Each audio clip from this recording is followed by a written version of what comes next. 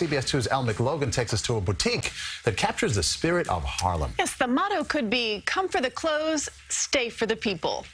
I was expecting just a clothing store, but what I found when I got there was something very different.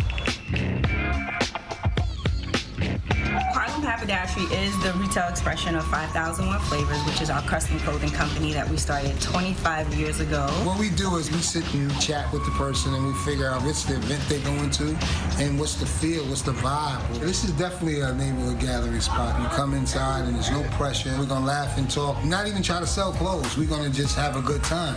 And that's what it's all about. We're both from the neighborhood. We met each other in high school. Okay. And, um, no. We did. That's. My story. He knew you in high school. Yeah. Aren't they He hilarious? The story was just starting to get good. That's called a tease. exactly, that is a tease.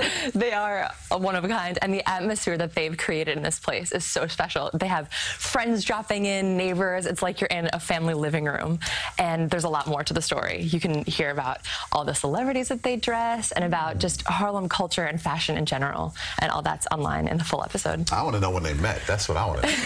it's a murky history. There, there are a lot of twists and turns. So I see clothes, but I also see art. So are they all for sale? So the art, I think, is just to really set this vibe, this Okay. tone in there that you're walking into like someone's lounge or library.